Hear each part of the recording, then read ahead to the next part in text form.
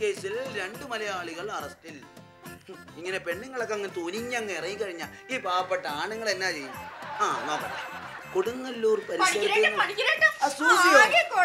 എന്നാ സൂസി പറഞ്ഞെ? അയ്യോ നീ വന്നത് ആരെങ്കിലും കണ്ടോ? ഇല്ല ആരും കണ്ടില്ല. ഞാൻ അപ്പോഴേ പറഞ്ഞല്ലേ എല്ലാം കുഴപ്പമാവുന്നു. നമുക്കൊരു കാര്യം ചെയ്യാം. ഒന്നും കൊണ്ടും നീ പേടിക്കണ്ട. നമുക്ക് നേരെ ആശുപത്രിയിലേക്ക് അങ്ങ് പോവാം. ആശുപത്രിയിലേക്ക് പോവാനോ? എനിക്ക് ഈ പേടിക്കണ്ട.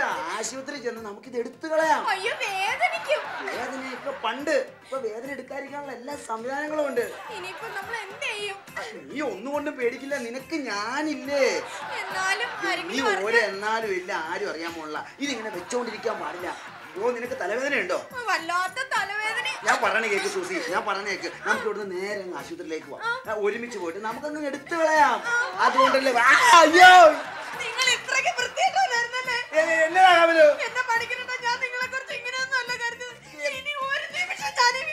നീ കമൽ പോകാതെ കാര്യം പറ കമലു നിങ്ങൾ എന്തൊക്കെ പറഞ്ഞത്? എന്നതാ? ആശുപത്രി കൊണ്ടുപോയി എടുത്ത് ഇനി ഞാൻ നാട്ടുകാരുടെ മുഖത്ത് എങ്ങനെ നോക്കും? അയ്യോ സൂസി പല്ല് വേദനയായിട്ട് വന്നത് അവളുടെ പല്ലെടുത്ത് കളയുന്ന കാര്യമാ പറഞ്ഞത്?